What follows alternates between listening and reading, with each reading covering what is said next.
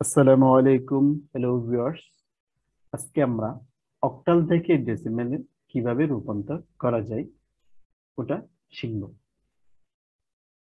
পরীক্ষাতে অক্টাল সংখ্যা থেকে ডেসিমেল সংখ্যায় রূপান্তর করা এটা প্রায় আসে। তার জন্য আমরা অক্টাল থেকে কীভাবে ডেসিমেল সংখ্যায় রূপান্তর করা হয় সেটা আজকে শিখতে যাচ্ছি। আমি একটা অক্টাল সংখ্যা লিখি।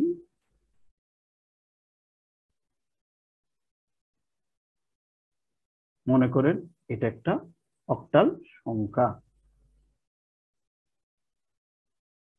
এটা একটা অক্টাল সংখ্যা।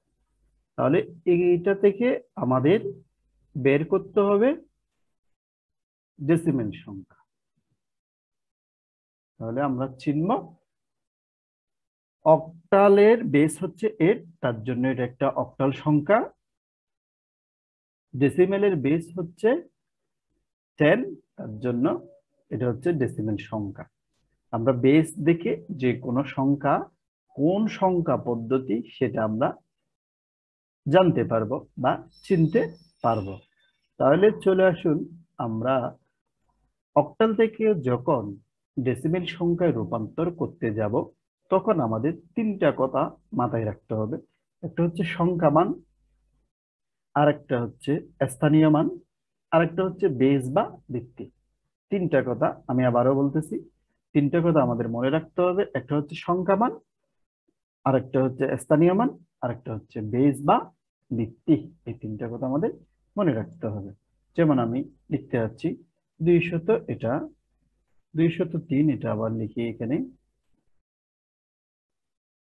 এটা দ্বারা দ্বারাটা ধরলাম, এটা আবার লিখতে যাচ্ছি।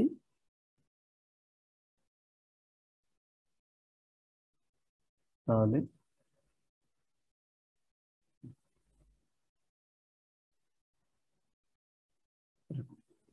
এরপর যাক, এটা সংখ্যাটা লিখব। লিখছি লিখার পরে আমরা এদিক বেস এইট দিব। আমাদের মাথায় রাখতে হবে বেস পড়তেছে কিনা। বেস যদি না পড়ে, তাহলে আমাদের অঙ্ক ভুল হতে পারে।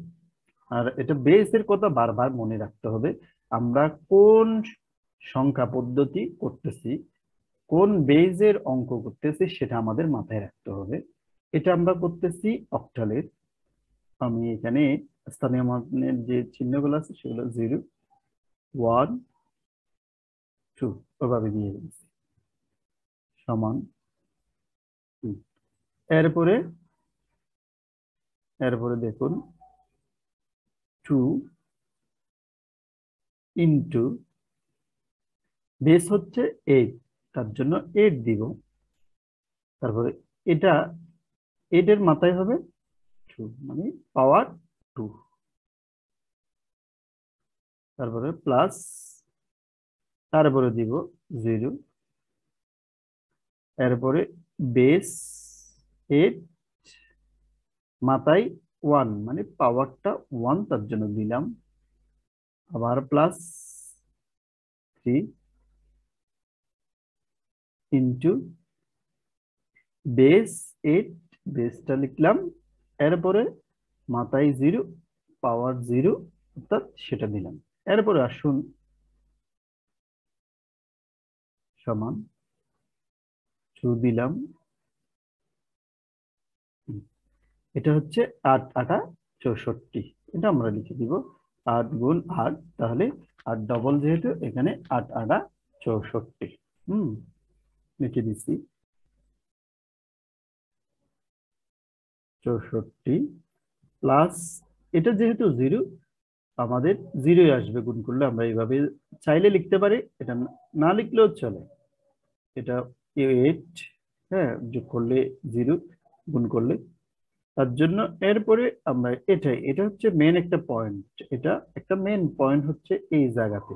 আমরা বেশিরভাগ এই জায়গাতে ভুল করে থাকি। এই জায়গাতে ভুল করে থাকি, তার জন্য থ্রি দিব। এরপরে ইন্টু এটার মানটা হচ্ছে ওয়ান আমি আরেকটা অঙ্কতে এটা বলেছিলাম, এটা আমরা সূচক বা লগারিদমে এটা করছিলাম। জিরো থাকলে তখন হচ্ছে মান হচ্ছে ওয়ান তাহলে এইট এর পাওয়ার যেহেতু জিরো তাই এটার মান হচ্ছে ওয়ান দিলাম, এরপরে ইকুয়াল দিলাম। এটা গুণ করলে কত হয়? এটা হচ্ছে এইট এরপরে হচ্ছে বারো। এরপরে প্লাস এটা জিরো এরপরে এইভাবে তিন। তারপরে আমরা চলে যাচ্ছি। নিচ্ছি এরপরে সমান দিব, এটা যোগ করে দিব। তাহলে এটা এটা যোগ করলে কত হচ্ছে? আপনার, এটা আমরা বুঝতেছি এগুলা। এগারো। এক হাতাশ এক। তারপরে এই একটা এখানে দিলে তিন। তারপর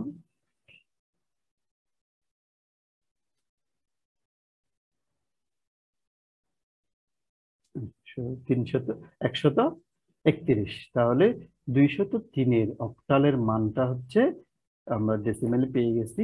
এখানে সুতরাং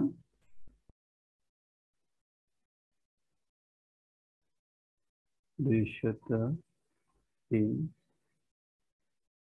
অক্টাল ইকুয়াল আমাদের মানটা হচ্ছে একশত একত্রিশ। আচ্ছা, তাহলে আমরা অবশেষে অক্টাল থেকে ডেসিমেল সংখ্যা বের করতে পেরেছি বের করতে সক্ষম হয়েছি। তাহলে আমাদের ক্লাস আজকে এতটুকুই। এরপরে ক্লাস নিয়ে আসতেছি। কীভাবে ডেসিম হেক্সা ডেসিমেল থেকে আমরা ডেসিমেলে রূপান্তর করব। আর প্রতিটা রিলেটেড ক্লাসটা আমি পাঁচ মিনিট, দশ মিনিট, এর মধ্যে একটা আই বাটনে দিয়ে দিব। আপনারা চাইলে ওখানে ক্লিক করে ওখান থেকে দেখে নিতে পারবেন বা করে নিতে পারবেন। তাহলে আমাদের মোট কথাটা হচ্ছে? প্রচুর পরিমাণ আমাদের একটু প্র্যাকটিস করতে হবে। প্র্যাকটিস মেক সেমেন পারফেক্ট ওটাই মনে রাখতে হবে। Number two today a lot of thanks.